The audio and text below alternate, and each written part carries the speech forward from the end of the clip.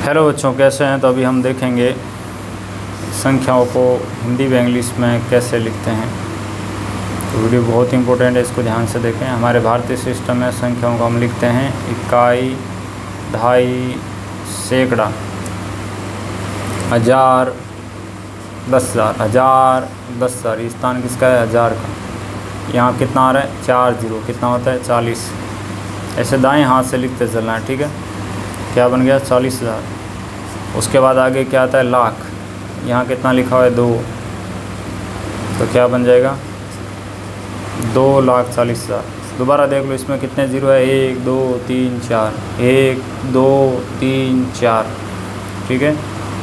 चार ज़ीरो है इसमें। अब लिखने के बाद भी आप इसको काउंट कर सकते हैं या साथ ही साथ काउंट कर सकते हैं। आपके पास ऑप्शन है। दो के लिए टू लाख के लिए लाख, चालीस के लिए forty F O R T Y हज़ार के लिए thousand T H O U S A N D क्या बन गया? टू लाख फोर्टी थाउज़ेंड ठीक है? आसान है। चलिए अगले वीडियो में फिर मिलते हैं।